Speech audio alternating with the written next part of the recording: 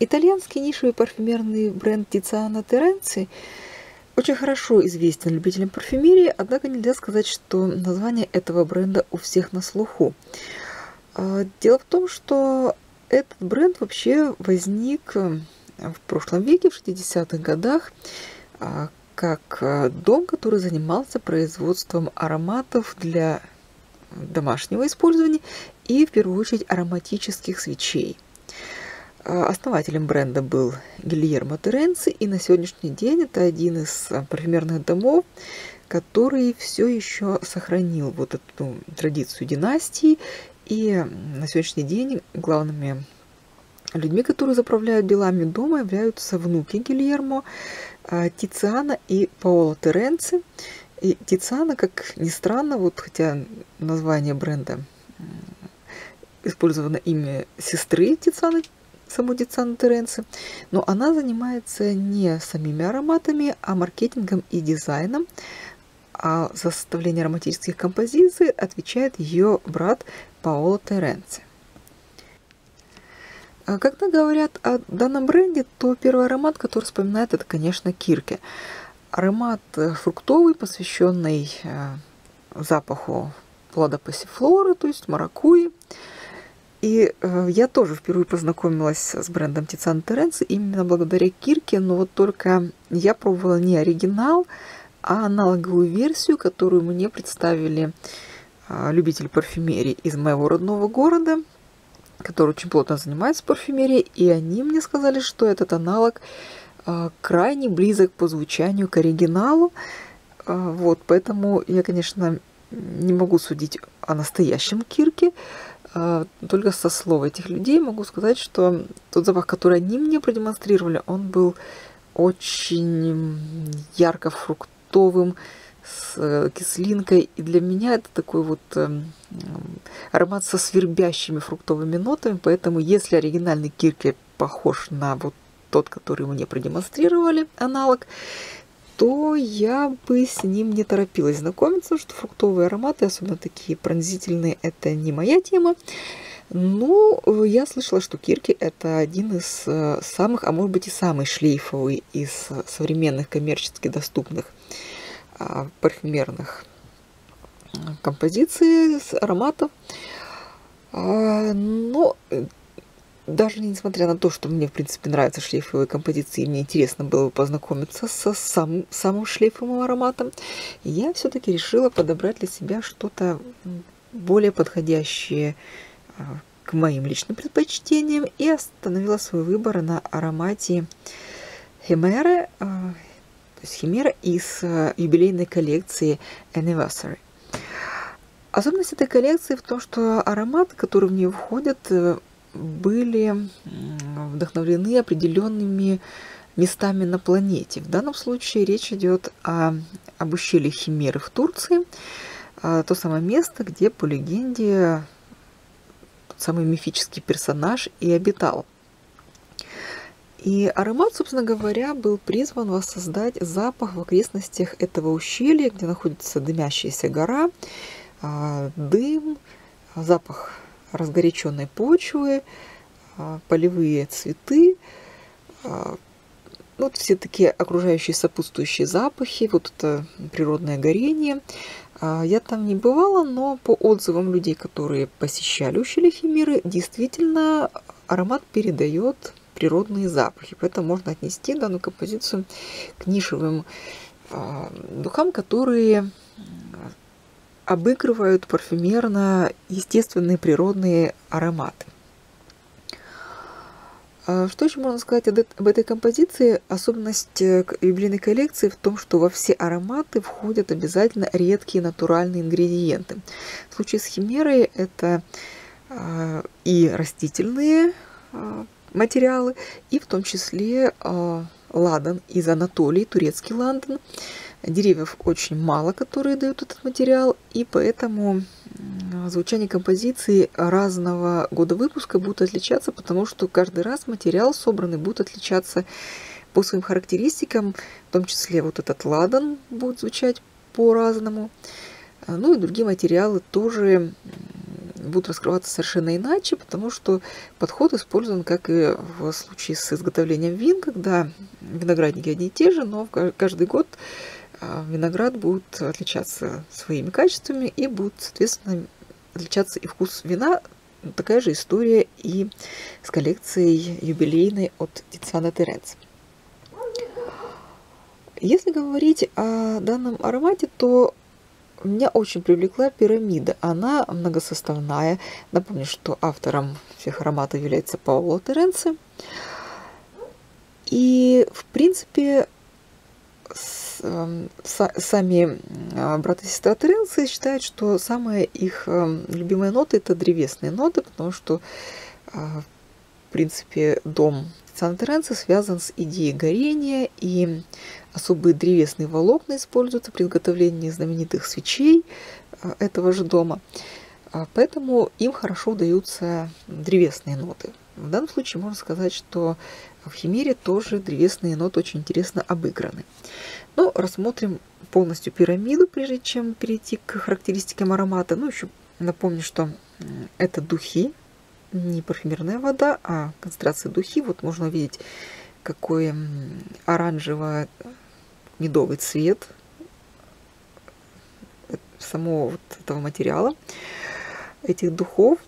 Они очень маслянистые на ощупь. Ну видно, что, ну, как в масляных духах, обычно пузырьки очень мелкие, и они очень медленно поднимаются к поверхности. А, кстати, забегая наперед, скажу, что а, действительно отличаются а, разные а, лоты, разные годы производства по шлейфовости и стойкости. Я не знаю, какого у меня года, возможно, 17-18 год, потому что я ожидала очень громкий шлейф, особенно после знакомства с Кирки заочного и такого очень своеобразного, который у меня было. Химера меня удивила тем, что вот э, та версия, которая у меня, она сидит крайне близко к поверхности кожи. То есть шлейф очень слабый у этого аромата, а стойкость на высоте, ну, где-то около 20 часов, можно так сказать. Но из-за того, что низкая шлейфовость, а, немножко мне сложно определить э, точно продолжительность звучания э, на коже и на волосах. А так вот, возвращаясь к пирамиде. Верхняя нота – это нота кожи. А, она подкрепляется нотами черного перца острого, тинтурой земли. Тинтура земли, э, насколько я поняла, что используется действительно некая вытяжка из почвы. То есть, скорее всего, это действительно натуральный материал, хотя есть и синтетические аналоги. А, запах земли. Это душистые травы, шафран и чебрец, тимьян, и нота лавра. Очень интересная нота, потому что я не люблю лавровый лист а, в натуральном виде, как приправу, но в ароматах он придает очень интересный холодок свежесть такого свежего ветра э, ароматов, в которые он входит. Лимон и другие цитрусовые ноты, и талуанский бальзам, такой вот сладковато-анималистичный запах у этого бальзама. Я могу сказать, что э, старт, который я ощущаю на себе, это, если говорить о коже, то на своей коже я слышу тоже кожаную ноту громче всего. Это запах кожи, которую заворачивали душистые травы. Вот как раз и чебрец, и а, шалфей, который у нас ниже по пирамиде расположен, и цветы шафрана – цитрусы особо не ощущаются, но вообще надо сказать сразу, что композиция химеры очень цельная. А, расчленить ее на отдельные ноты непросто. Звучит все это таким фантазийным ароматом, цельным. А, почему возникают ассоциации с ароматами прошлых времен, когда аромат это был конкретный запах, не распадающийся на отдельные ноты. Но, тем не менее, угадать здесь определенные ноты все-таки можно. И звучание очень мягкое, такое вот сглаженное. Я бы даже сказала, что и превращения, которые происходят в течение раскрытия композиции, они происходят очень плавно и постепенно. А, сказать, что практически незаметны эти переходы.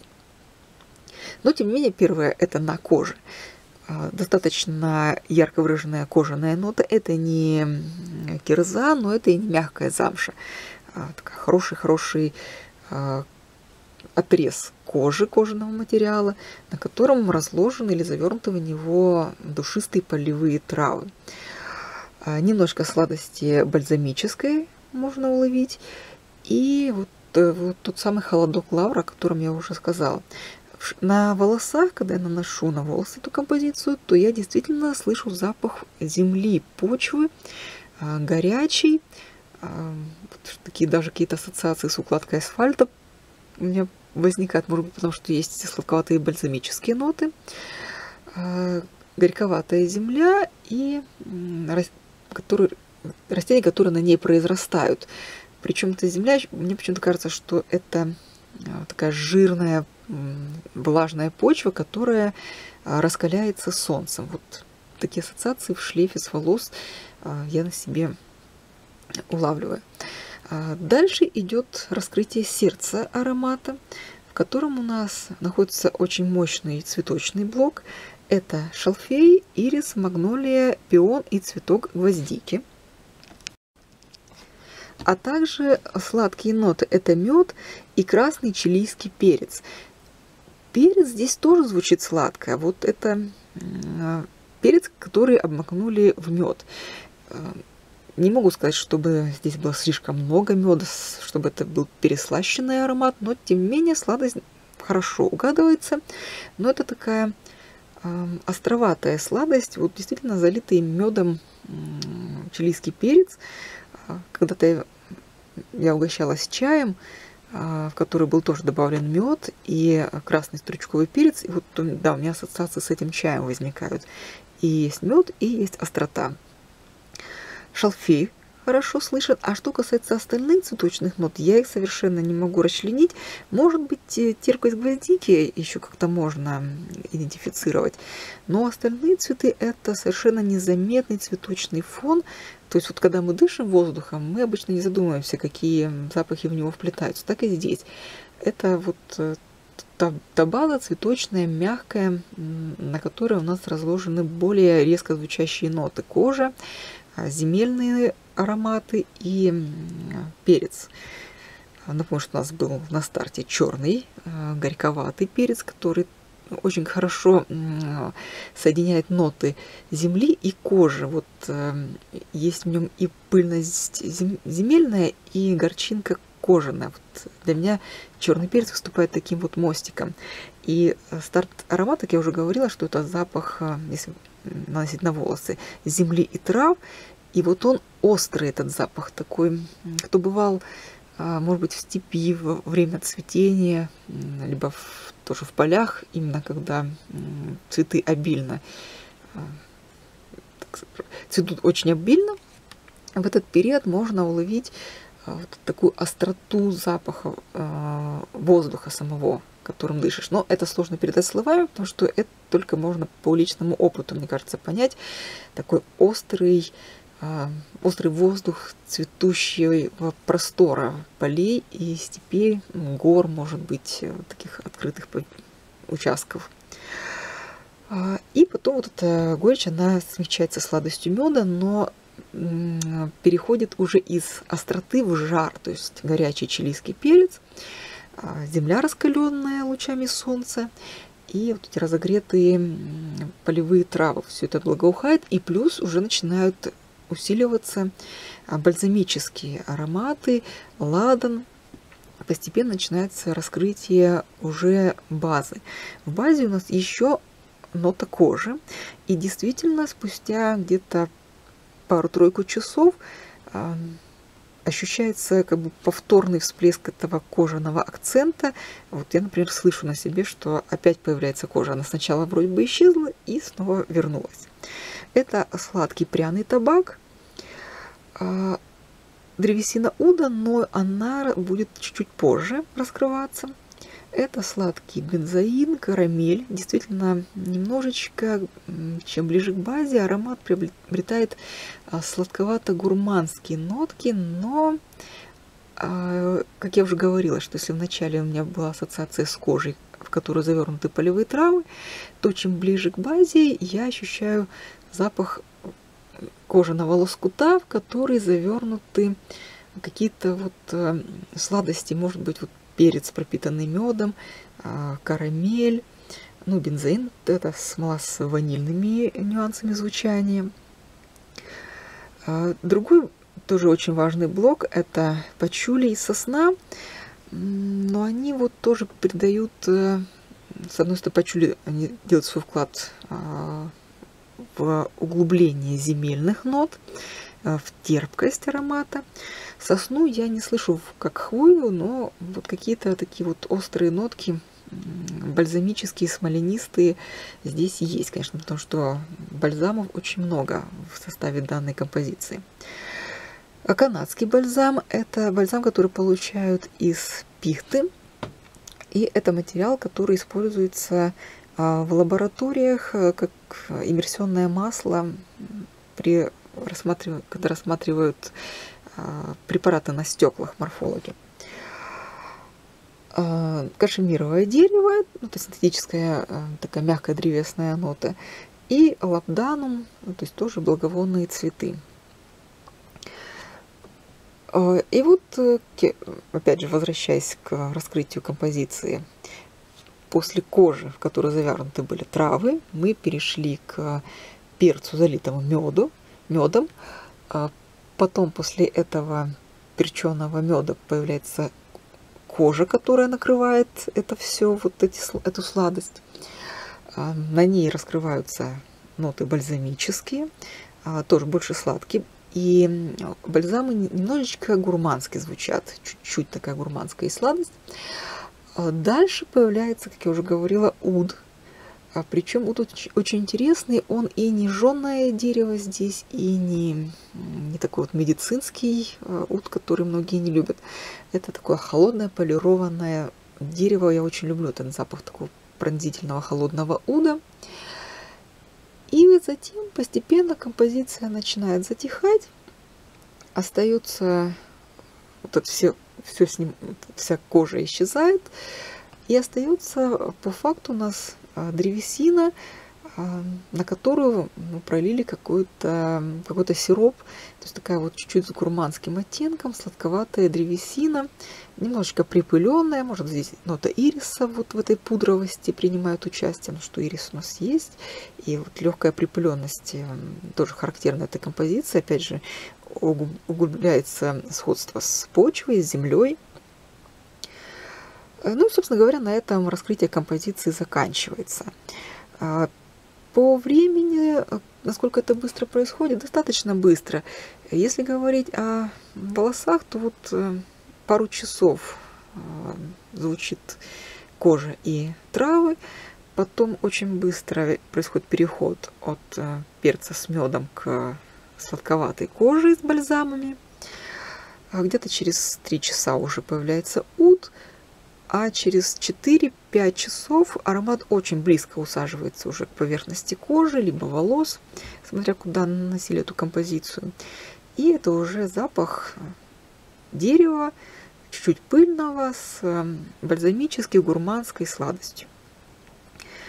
Э, вот вот, вот такое вот для меня оказалась эта химера. Я тоже как-то ожидала чего-то, э, ну не знаю, более провокационного почему-то. Э, такого, может быть, исходя из названия, потому что я, когда заказывала, я еще не интересовалась тем, откуда оно взялось это название, что это посвящено конкретной горе, конкретному месту в Турции.